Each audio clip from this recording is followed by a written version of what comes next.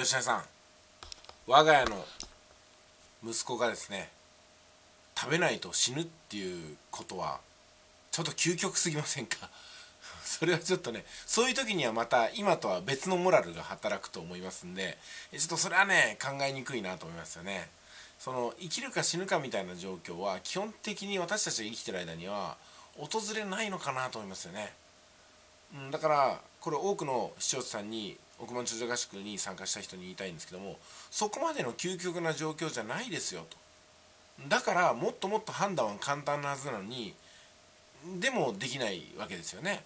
ということは究極の時には必ずあなたは死にます飢え死にますってことなんですよ。うん、だからねそのお客様のためとか世のため人のためは私はね吉谷さん嘘じゃないと思うんですよそう思う気持ちは。うん、完全に嘘じゃないとそういう気持ちもあるんだと思うんですよ。だったら問いたい。ならなぜやらないんです。世のため人のためお客様のためでしょ。やらないってことはお客様のためにもなってないし世のため人のためにもなってないじゃないか。そこで私は初めてきれい事言うなと思います。だって自分のことをさておいてね自分のことは満たされても満たされてなくてもどっちでもいいんですよそんなことは。でも世のため人のためお客様のためっていうんだったらコンテンツ配信が何でできてないんですか。配信してないのがお客様のためになるのかってことですよ。じゃああなたは世の中に何の発信もしない方が世の中のためって思ってるんだから発信しないんですかっていうふうなことになりますよね。ってことは何なんだ？お前はって感じですよ。何が億万長者合宿だ？でそういうふうにね億万長者合宿に参加しといてあやふやなことをやって結果億万長者合宿の合宿中に予告したにもかかわらず私のコンテンツの中であなたを紹介しますって言ってるのに何にも思ってないしかもそれに深い後悔をしたはずなのにそれがね億万長者合宿終わっても何かやりました？久保さんあの時はダメだったけども改めて今は商品があるんで紹介してもらえませんかっていうメールが誰かから来たかっていうと来ない。来ないですよ。何だったんだ？お金と時間を使って億万長者合宿参加したんでしょ？で参加したのとプラス億万長者合宿に誰も来なければもしかしたら私と吉田さんで別の時間の使い方したかもしれないんですよ。ひどい言い方になるけども億万長者合宿に参加した人のために参加した人のためにですよ。私は吉谷さんは行ったわけですよ。でそこで渾身のセミナーしたわけですよ。渾身の講義を。あの時間返せよと思いますよ。ね私なんてね別にノーギャラで手弁当で行ってるわけですよ。つうか私ねなぜかね自分の宿泊費とか払ってるんですよ。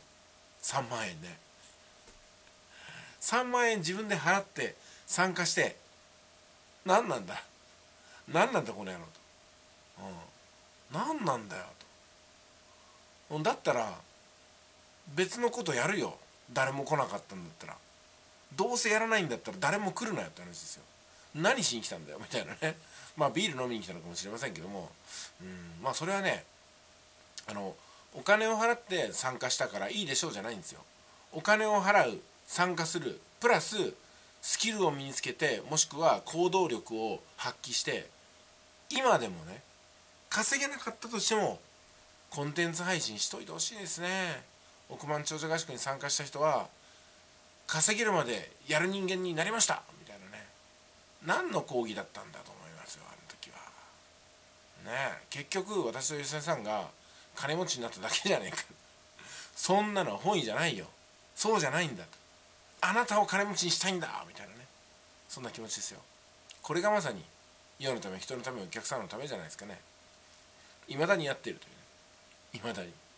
でこれはね今回のまとめですけども億万長者合宿に参加した人がいつかねあまだやってんだ億万長者合宿湯河原のリレー。じゃあ今更ながらだけどももう一回ぶり返してみようかなっていう気持ちにならないかなっていうふうな思いもちょっとだけちょっとだけねあるんですよ。ちょっとだけですよ。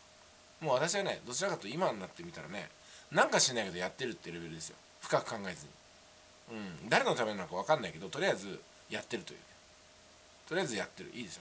とりあえずやってる。とりあえずやらないんじゃないんですよ。とりあえずやってるんですよ。そしたら何かが見えるんですよね。私の前に道はない。私の後に道はできるっていうような言葉がありましたけどもまさにコンテンツ YouTube っていうのはやるからこそそこに1本10本100本1000本と道ができるんですよ。やらないところに何の道もないじゃないですか。暗黒のダークウェブ空間があるだけですよ。ね。何なんだ。いってらっしゃい。